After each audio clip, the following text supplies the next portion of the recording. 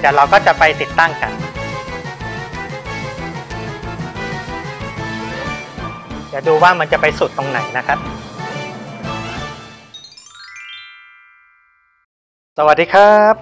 ยินดีต้อนรับเข้าสู่ช่อง Daddy Tip ครับผม ที่บ้านผมก็จะมีอยู่ห้องหนึ่งที่จะโดนแดดบ่ายส่องตลอดเลยนะครับ ก็ได้มีการทำกันศาสตร์เอาไว้แล้ว แต่ก็ยังมีไอความร้อนที่วิ่งเข้ามาอยู่ คราวนี้นอกจากการทำม่านนะครับ เราก็จะมาทำหัวพ่นหมอกกันครับผมเพื่อลดความร้อนนะครับ โอเค เดี๋ยวเราไปดูส่วนประกอบแล้วก็วิธีทำกันเลยครับ อย่างแรกเลยก็คือสายไมโคร PE ขนาด4ส่วน7มิลลิเมตรสายนี้ผมซื้อมา 100 เมตรเลยนะครับ แล้วแบ่งมาเอา นี่คือหัวพ่นหมอกนะครับ ผมใช้ 5 หัว แล้วก็ตัวต่อหัวพ่นหมอก 5 หัว แล้วก็ 3 ทางสำหรับท่อไมโคร PE แล้วก็หัวต่อสำหรับก๊อกน้ำสนามนะครับ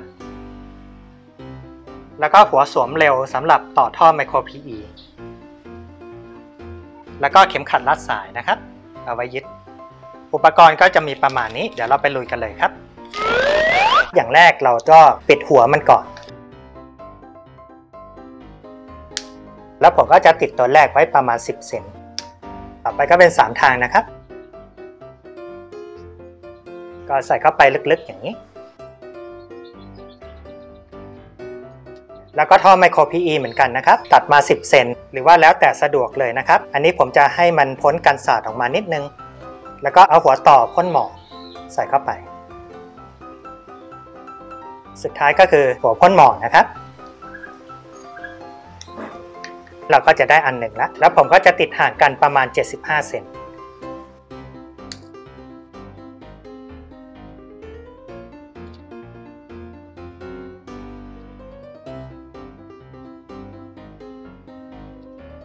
แล้วก็อันสุดท้าย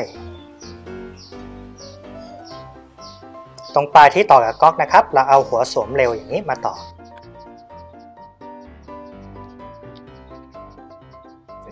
ซึ่งเดี๋ยวจะใช้คู่กับตัวนี้นะครับ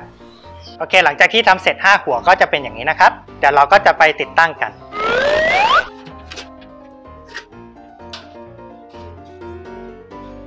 เราใช้เข็มขัดเก็บสาย 2 อันต่อ 1 หัวพ่นหมอกนะครับ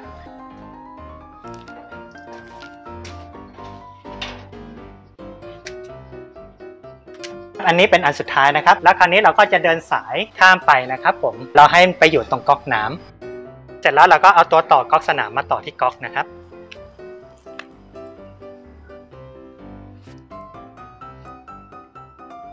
แล้วก็สายที่หัวต่อนะครับ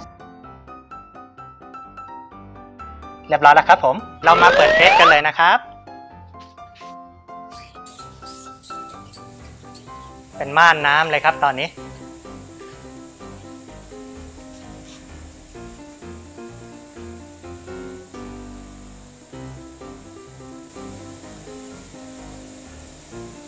ตอนนี้วัดอุณหภูมิอากาศนะครับ ตรงที่ไม่โดนแดดอยู่ที่ 37.2 นะครับ เดี๋ยวผมลองเปิดหมอกดู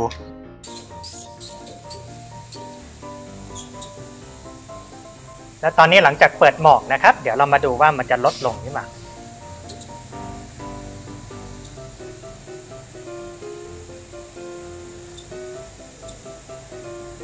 ลดลงมา 5 องศาแล้วนะครับ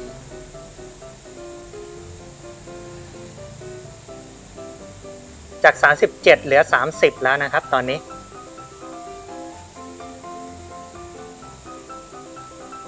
เดี๋ยวดูว่ามันจะไปสุดตรงไหนนะครับ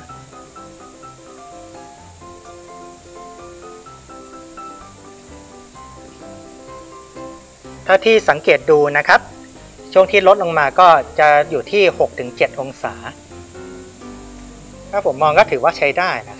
ครับ สำหรับหัวพ่นหมอกอย่างนี้นะครับผมหัวหนึ่งก็จะกินน้ำ6ลิตร ต่อชั่วโมง 5 หัวก็ 30 ลิตรนะครับถ้าเกิดว่าวันหนึ่งเนี่ยเราเปิดสัก 4 ชั่วโมงนะครับผมก็จะกินน้ำวันหนึ่ง120 ลิตร โดยประมาณนะครับ น้ำหนึ่งหน่วยก็จะอยู่ที่ 1,000 ลิตร จะประมาณ 10 บาทถึง 15 บาท เพราะฉะนั้นวันหนึ่งเราเปิดสัก 4 ชั่วโมงนะครับ น่าจะใช้เงินประมาณ 1 บาท 20 สตางค์ถึง 1 บาท 80 สตางค์ ถ้าเกิดว่าใครชอบคลิปนี้ก็อย่าลืมกดไลค์นะครับ แล้วก็แชร์เพื่อนๆท่านดูด้วยนะครับ ใครยังไม่กดติดตามช่อง Daddy Tip อย่าลืมกดติดตามนะครับผม กดกระดิ่งด้วยนะครับ วันนี้ขอบคุณมากเลยครับที่ติดตามรับชม เดี๋ยวเรามาเจอกันใหม่นะครับผม